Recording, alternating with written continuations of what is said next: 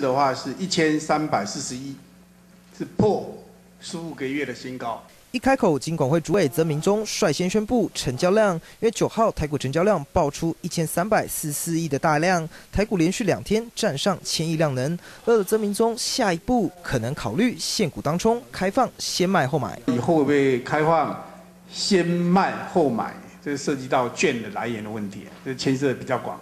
呃，这这个还是要来从长。曾明忠话不说死，对开放先卖后买脚步先放缓。大家透露对现股当中非常有信心。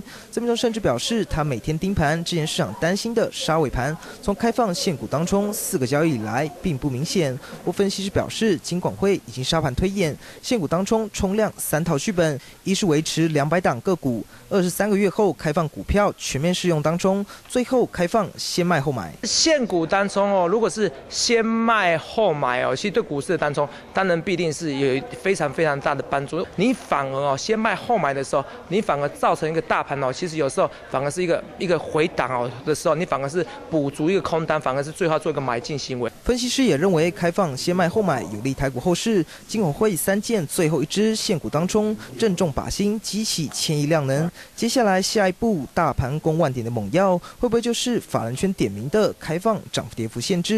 市场都在等着看。三新闻李峰海中台报道。